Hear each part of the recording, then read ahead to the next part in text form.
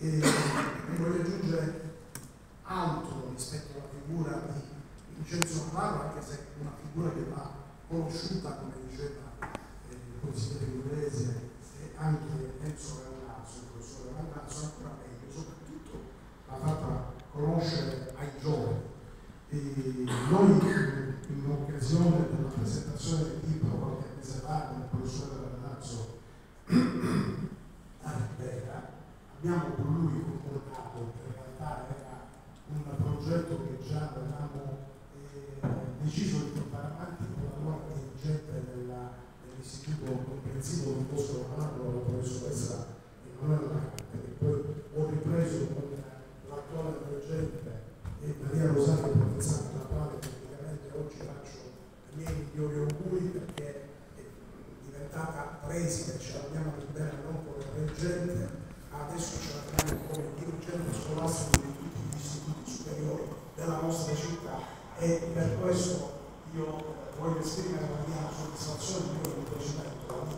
felicità perché eh, conosco le, la capacità, i doti, la competenza, la preparazione della professoressa Provenzano, quindi Ribera si arricchisce oggi di un'altra figura importante di, di, di, di licenza nella, nella nostra città. E queste vanno portate avanti. Stavo dicendo, avevamo programmato, eh, grazie anche alla disponibilità di un altro artista nostro locale, che è l'amico Alberto Ciacola, che ha realizzato due busti di Vincenzo Navarro,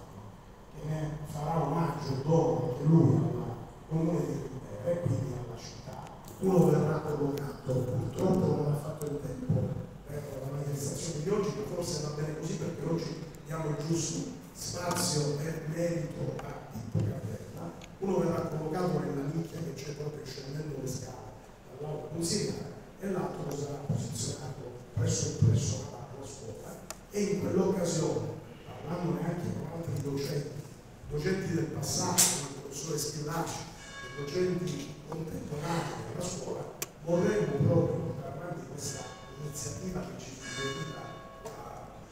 Presidente Provenzano quello che parla dei nostri personaggi più importanti, che danno idea e che vanno fatti conoscere soprattutto alle nuove generazioni. Vincenzo Romano lo hanno detto molto meglio di me che ha preceduto e non soltanto è stato un medico capace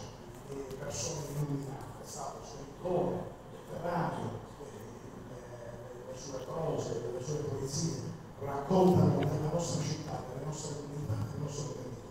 È stato anche uno che lo diceva Enzo Gallazzo guardava lontano, perché combattendo la madre anche eh, dato in là perché si allontanasse la coltivazione delle risate